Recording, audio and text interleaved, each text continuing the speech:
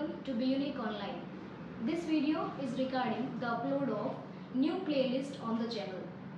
We are bringing uploads of science activities of standard 8th, 9th and 10th based on their NCERT textbooks.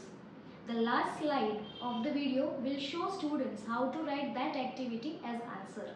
Thus, combination of practical as well as theory would help to understand the concepts better and also help to score more marks.